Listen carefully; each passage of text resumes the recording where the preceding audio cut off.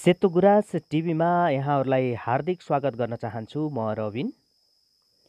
आज म लुम्बिनी प्रदेशको राजधानी दाङको बङ्गलाचुली गाउँपालिकाको वार्ड नम्बर पाँचमा अवस्थित बङ्गलाचुली लेकमा रहेको भ्यू टावरको अवलोकनको लागि जाँदैछु। अवलोकन गर्न जाँदै गर्दा आज मैले सानो भिडियो बनाउने प्रयास गरेको छु। यो च्यानल पहिलोपटक हेर्दै हुनुहुन्छ भने कृपया सब्सक्राइब्स गर्न नभुल्नुहोला र यो च्यानलमा जोडिसक्नु भएको छ भने लाइक कमेन्ट र सेयर गर्न नभुल्नुहोला। तपाईँले देखिरहनु भएको यो दृश्य घोराई मुर्कुटी प्युठान सडक खण्ड अन्तर्गतको यो दृश्य हो। केही भागमा कालोपत्रे छ भने अधिकांश भाग चाहिँ कच्ची रोडकै अवस्थामा रहेको छ। अहिले म बङ्गलाचुली लेकको काखमा रहेको सुन्दर रमणीय स्थल मुर्कुटी बजारमा आइपुगेको छु। अबको केही समयमै बङ्गलाचुली लेकमा रहेको भ्युटारमा पुग्नेछु र रमणीय दृश्य अवलोकनहरू गर्नेछु। यो मुर्कुटी बजार बङ्गलाचुली गाउँपालिकाको सबैभन्दा ठुलो बजारको रूपमा चिनिन्छ। अब मैले एकैछिनमा भ्युटारमा पुगेपछि त्यहाँको रिपोर्टिङ गर्नेछु।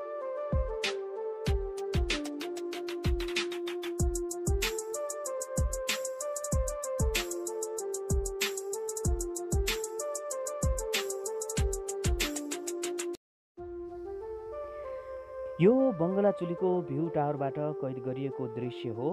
यहाँबाट अग्ला अग्ला पहाडका चुचुराहरू पहाडका काखमा अवस्थित साना साना सुन्दर बस्तीहरू प्राकृतिक सुन्दरताले भरिपूर्ण भिर पाखाहरूले साँच्चीकै तपाईँ हामी सबैको मन लोभ्याउँछ।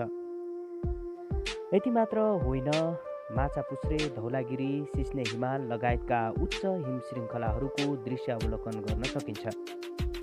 लुम्बिनी प्रदेशको राजधानी दाङ जिल्लाको छिमेकी जिल्ला प्युठानको झिमरुक उपत्यका सदरमुकाम खलङ्गा पर्यटकीय स्थल झुलेनी बगैँचा कोठीभिर दियाला लेक विष्णु लेक र नेपालकै सात धाम मध्येको एक धाम मानिने प्रमुख धार्मिक तीर्थस्थल स्वर्गद्वारीको पनि यहाँबाट अवलोकन गर्न सकिन्छ।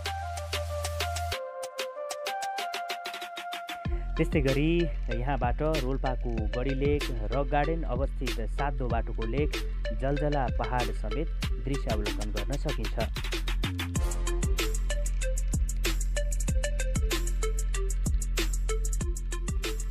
भौगोलिक हिसाबले दाङ र प्युठानको सिमानामा अवस्थित यो बङ्गलाचुली लेक सदरमुकाम घोराईदेखि झन्डै तेत्तिस किलोमिटर पूर्वमा पर्दछ।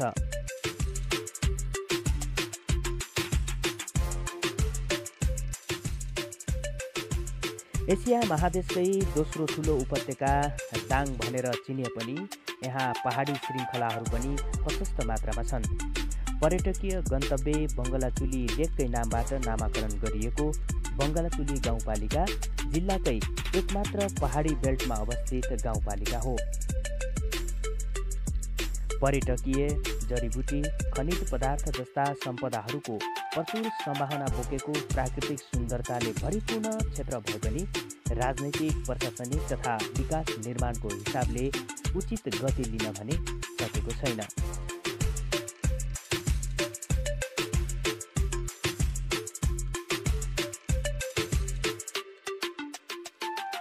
भालुबाङ प्युठान सडक खण्ड निर्माण हुनुभन्दा पहिले सञ्चालनमा आएको घोराई मुर्कुटी प्युठान सडक खण्ड पाँच दशकभन्दा बढी भइसक्दा समेत आंशिक कालोपत्रे भए पनि अधिकांश भाग कच्ची नै रहनु विकास निर्माणले उचित गति नलिनुको एक उदाहरण हो।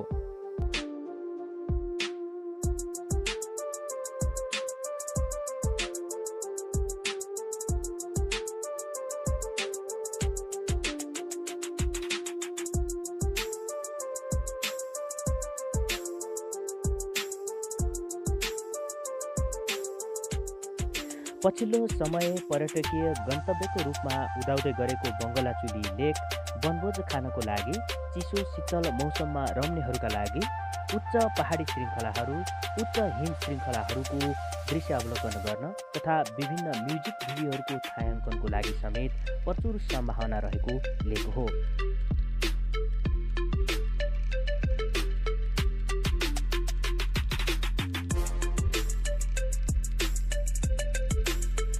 स्थानीय निकाय प्रदेश सरकार जस्ता सरकारवाला निकायहरूले समयमै प्रचार प्रसार प्रवर्धन तथा उचित लगानी गरेमा बङ्गलाचुरी लेक मात्र नभई यस क्षेत्रका अन्य ठाउँहरू गढी लेक झिमे लेक जस्ता ठाउँहरूलाई पनि पर्यटकीय गन्तव्य बनाउन सकिनेमा कुनै दुई मत नहोला।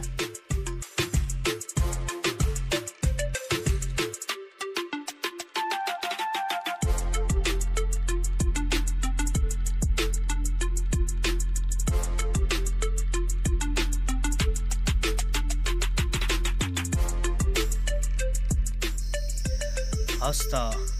आजलाई यो छोटो भिडियोबाट बिदा हुने अनुमति लिन चाहन्छु र तपाईँ सम्पूर्ण दर्शकहरूलाई यो भिडियो अन्तिमसम्म हेरिदिनु भएकोमा हार्दिक हार्दिक धन्यवाद व्यक्त गर्न चाहन्छु। र आगामी दिनमा यो भिडियो हेरिसकेपछि सल्लाह सुझाव र प्रतिक्रिया दिन भने नभुल्नुहोला किनभने तपाईँको सल्लाह सुझाव र प्रतिक्रिया आगामी दिनमा हामीलाई कोसे ढुङ्गा साबित हुनेछ।